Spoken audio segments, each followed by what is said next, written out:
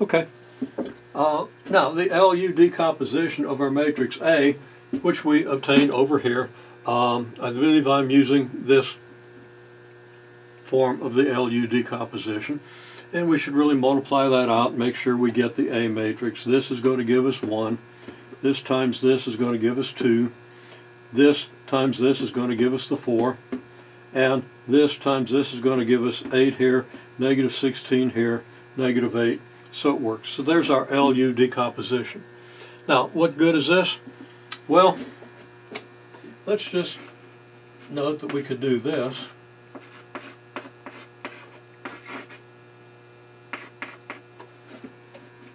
this times something is going to have to equal this. And that something is just all this. Okay? So I'm going to call that something though. I don't want to, I don't want to deal with this. I just want to deal with this times some column some unknown column vector equals this. Whatever this is, I'm going to call it y. And now I can solve this equation for the y1, y2. Okay, so um, I don't want to have to rewrite the whole thing. Okay, that's going to be my y. So I'm going to call this y1, y2. Why did I call it y? So I could say, why did I call it y? No. Why did I call this y? Well, I could have called it u, I could have called it w, I could have called it anything. It's just uh, what we would generally call a dummy variable that we insert here. Whatever, but we're going to be able to solve this equation and find our y1 and y2. Okay, and then whatever we have here is going to equal whatever we find. And we're going to be able to solve that equation. Now these equations are going to be easy to solve because, well, what's 1, 0 times y1, y2 column? It's just y1 and y1 then equals 4. Okay, and then the second row times the column, well that's 4y1 minus 16y2 equals 24. Okay, that's a system we can easily solve by forward substitution. In other words, we get y1 equals 4, multiply the first row by the column, it's going to equal the first uh, row of this column matrix. And then we have 4 y1 minus 16 y2 equals 24. Okay, well we just substitute the 4 in here for y1 and we get 4 times y1 is 16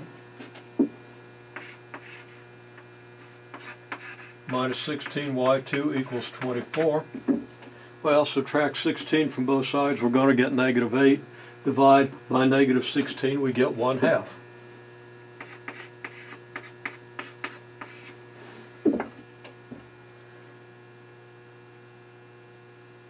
So the column vector y1, y2 is the vector, column vector for 1 half. So now I'm going to get rid of this. I don't need it. And that board is a little precarious there. So I'm going to move it over a little bit. So I don't have to block as much of the board when I write. Okay, so from this solution I find that my y vector, which is y1, y2, is equal to 4 1 half.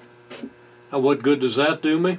Well, y1, y2 is what I use to replace this. So that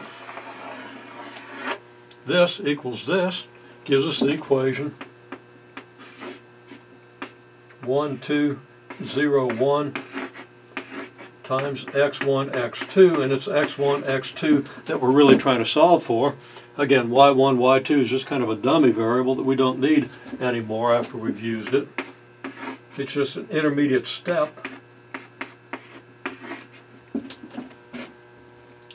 solving this equation, which will give us x1, x2. Okay, let's see, make that four look a little more like a four.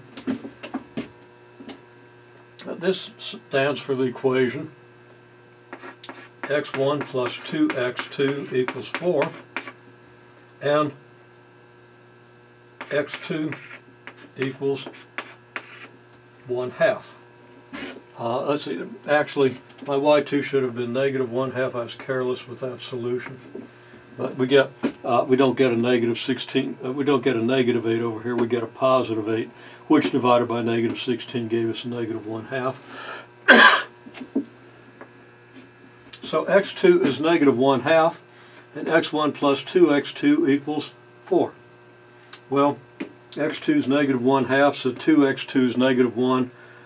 Negative 1 added to both sides leaves us x1 equals 4. 5.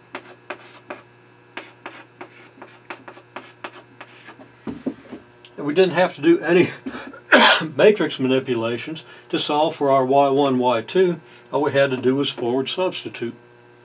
We didn't have to do any matrix manipulations here. All we had to do was forward, or actually in this case backward substitute, um, because of course we had the x2 that we substituted back in to the first equation. Okay?